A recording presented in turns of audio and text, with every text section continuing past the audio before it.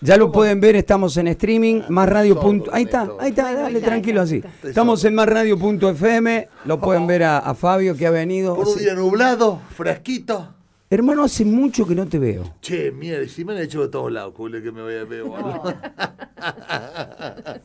Lo veíamos siempre todos los miércoles en Tremendo Yo, ¿te acordás? Claro, grabamos. ¿Cómo está Tremendo Yo, Cristian? Bien, bien. ¿Se me extraña? Sí, se te extraña. ¿En serio? Se te extraña. ¿no? Sí, bueno, vos sabés que eh, el programa, y vos lo sabés, sos consciente que el programa eh, en el armado, en el armado original, Fabio, vos sabés lo que te voy a decir, en el armado original eh, vos siempre fuiste una pieza fundamental. Yo cuando entro como conductor, vos ya venías con Joel desde otros años, digamos, vos tenías y tenés claro lo que es el programa, entonces obviamente que, es una ausencia notoria. Claro, me acuerdo cuando entraste vos, yo me acuerdo que le digo al Cristian, es que este es un tipo, viste, señor, educadito. Yo digo, Cristian, acá tenés que soltarte. Esto es tremendo yo, te Claro, sí, sí, sí, Y al segundo día, tercer día, sí, al tercer día de grabación ya te adaptas. El, el primer día me costó.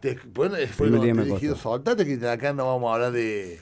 De, de, ajá, qué divinas palabras. acá, acá saltaba todo al aire. y teníamos la negra también, que a la negra le gustaban todas. Era un equipo lindo. Sí. Un equipo hermoso eh, eh, ¿Extrañas un poco esto de, los medios? Que estás ahora un poco fuera, estás un poco más tranquilo, alejado. Este, al principio me dolió el, tema de, por sí de salir de los programas porque como, como dije siempre, sé que no le voy a poner azúcar, ¿no? o no soy ni para vos la azúcar. Se está tomando, no, toma, toma azúcar, está tomando un cafecito. Yo soy, de Ahí está, está tomando un cafecito, lo tienen acá la mole. Este, yo soy de las personas, Cristian, de que, que yo creo que si vos me has seguido toda mi vida, en los grandes problemas que tengo yo siempre, yo siempre dije y lo voy a rescatar. Todo el mundo es inocente hasta que la justicia demuestre lo contrario.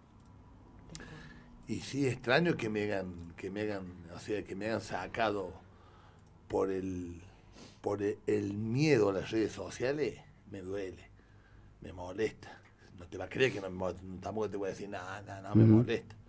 Me molesta, ¿viste? Porque hay muchos que, o sea, vos como locutor, mejor vos, este, eh, al otro día que me pasó esto, vos, vos, pensando, no lo voy a traer este loco acá. A lo mejor muchos pensaron así. Y yo soy el tipo que digo, eh, todo el mundo inocente de que la justicia demuestre lo contrario. Sí fui denunciado, pero no fui condenado, ¿me entendés? Entonces yo, creo que había que esperar un poquito.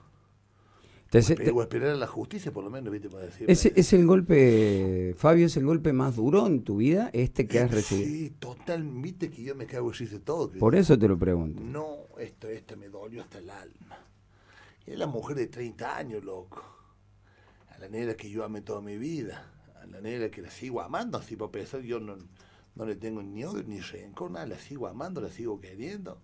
Estoy, o sea, estamos con ese, ese restricción que no lo podemos ni ver, pero mando a mi hijo a cada rato a ver cómo está, cómo se siente, qué quiere, qué le hace falta, qué necesita. No hablaste más con ella. No puedo. No podés. no puedo. Me tienen, todavía me tienen con las restricciones. Fabio,